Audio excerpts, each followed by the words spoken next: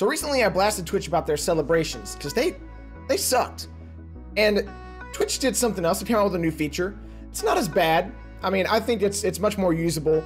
It's a lot more viewer and broadcaster friendly. So let's get into what this channel point prediction system is.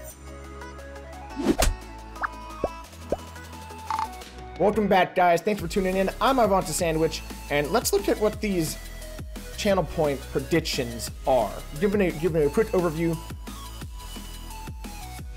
So essentially, it's gambling, but not with real money. You get channel points. So there are these things called channel points, which all the Twitch users should know about, and uh, they're in every partner and affiliate's channel. So what essentially you can do is you have a prediction. So there may be like, what's going to happen next? And then you have two possible outcomes.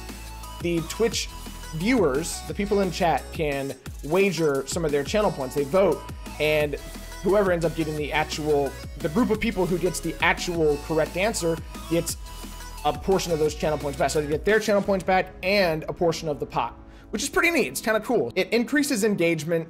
Um, it's something that's kind of neat. Doesn't cost anybody anything. So there's no money going to the broadcaster. There's no money coming out of the viewers' pockets. Just a nice little gimmicky thing that you can do to uh, increase engagement. So I don't really see anything overall that's just awful with it. But at the same time, it's not, it's not anything that's super crazy. You're not gonna, it's not gonna make or break your channel. You know what I'm saying? So um, I'll be trying these out on my stream. It's uh, I've got the sandwich, twitch.tv. And then um, also check out the other social medias. So until next time, I'll be making sandwiches for you. Like if you want more.